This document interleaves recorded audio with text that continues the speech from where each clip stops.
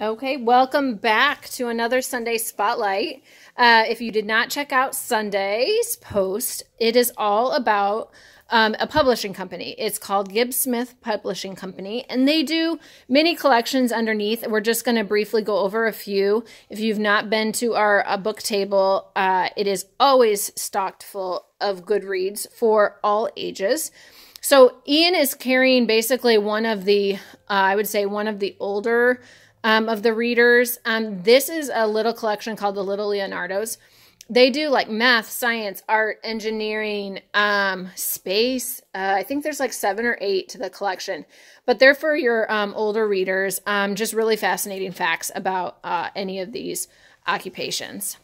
Uh, next, is a newer collection that they have started doing, um, and it is called Lil Libros. So this is the Spanish uh, versions of the board books that they do um, in their classic collection. So they have a full set of just colors. So there's like a blue, green, yellow, and uh, red um, for the Spanish. But then what they also do is they have a bunch of different board books. This one actually uh, there's two that actually have, yeah, uh, movement to them. So they're little pop-ups and slides, um, which are the more popular. But there are also other board books about the colors and um, words and things like that, which is very awesome for little Libros. So those, we have plenty of those.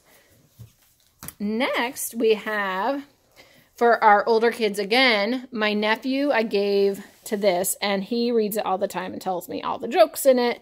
It's um, a really fun, cool book.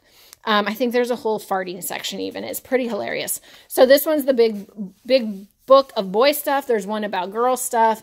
And then they even do it in like little mini collections. And then there's a whole collection of, of doodles so we've got cowboy doodles, there's a girls, there's a fairy one, a unicorn one, one about artists. There's just tons of doodle books. So they give you ideas and then how to do little doodles in them.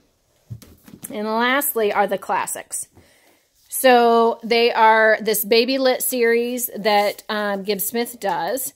And so these are actually little mini collections within them. So there's four books on fairy friends. So there's colors and seasons and um, a few others from the fairy friends. So they're very um, uh, little artistic looks to them, which are fun and whimsical. And then they do all of the traditional old classics. So there's Moby Dick, there's Anne of Green Gables, um, there's all kinds, um, Huckleberry Finn, um, there's Sense and Sensibility, all kinds of classics that they do in really cute, easy, readable um, board books. And then our favorite is a newer collection that they have that is called Little Naturalists. And so there is a John Muir one. This one, open it up, Ian, so that they can see. This one's um, just painted birds about the Audubon. And they're just really fun and um, have that little outdoor flair that we love so much here at Bushbaby. So that is just a brief overview of some of the Gibbs Smith books that we have here. So thank you again, Ian, for being such a dapper model for us. And happy Sunday Spotlight.